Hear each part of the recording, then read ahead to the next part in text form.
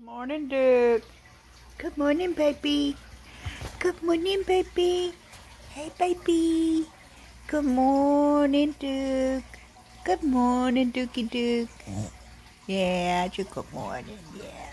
Yeah, you're a good boy. Yeah, you're a good boy. Yeah, you're a good boy. Good morning, everybody. How's everybody doing this morning? I hope y'all all got your coffee. Got our coffee this morning. Hey, it's Mike in the night. Mike in the night cup. I got my cups, Mike in the night. Uh, I'm drinking chocolate coffee this morning. So, there's a couple things I wanted to address. Uh, I went and I bought some picante sauce at the Dollar General store a couple days ago. And I went last night to take it out and use it with some chips. Well, the picante sauce has expired. So, I would like to say that maybe it was a mistake, but I bought two jars of it and they both expired. So, I want y'all to know that this is now going on. So when you go to the grocery store, please check the dates on the can. Um, I also noticed that a can of corn I bought had a double stamp on the expiration date or the best buy date. It was it was like double stamped on the top of it. Uh, you know, the can is fine, so it, it's still going up in my preps. I'll probably use it this week. But I wanted y'all to know that so that you're checking your food when you're buying it from the store and not just pulling it off the shelf and putting it in your cart and walking away. Uh, I don't know where this food is coming from. Maybe it was coming off the container ships that have been stuck out at port for six, seven months.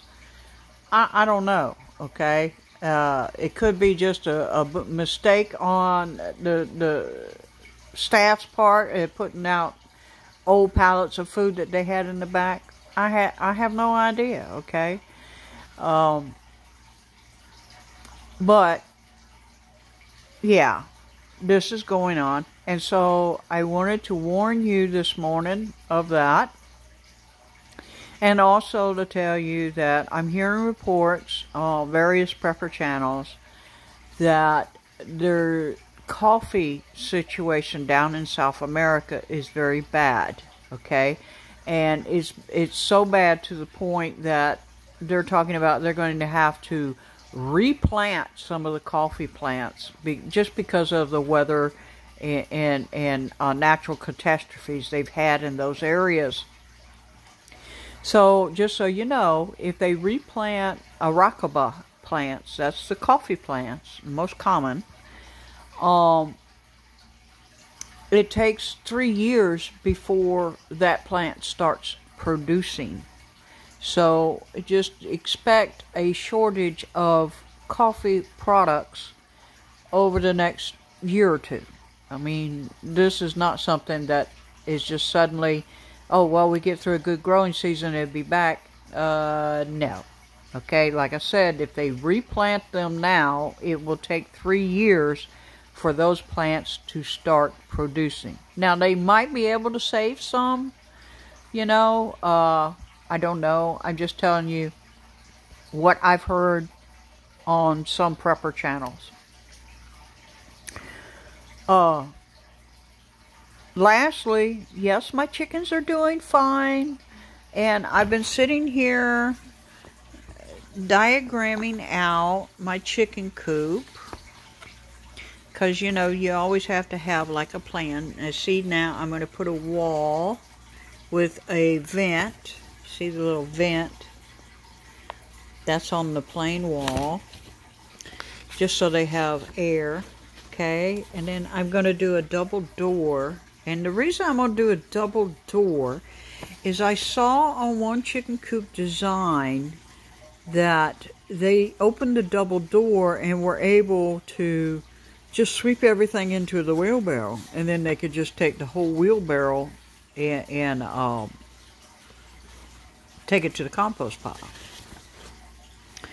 And then, of course, I have my egg box. And I'm only going to put two nesting boxes because I don't think, with six chickens, I don't think I need more than two. It, it just depends on how much wood I have. Uh, if I put two, I might end up putting three, but I'm not going to put any more than that. I, I don't think I'm going to need any more than three. Yeah, and that's that's what I'm doing this morning. I mean, I just woke up. I'm drinking my coffee, and I have uh, here's a little trick for chocolate coffee. If you didn't know, uh, take a little Nesquik uh, chocolate powder, like you would make chocolate milk, and put it in your coffee, and you have chocolate coffee. Or you could take a part of a Hershey bar and drop that in and melt it, and you have Hershey's chocolate coffee. Um, yeah, coffee's good.